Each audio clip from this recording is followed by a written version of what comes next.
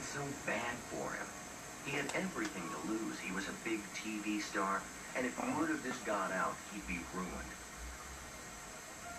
I got him calmed down and told him I'd take care of everything.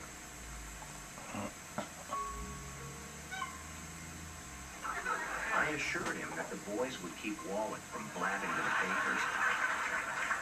And I promised him right there and then that I was going to teach him to read.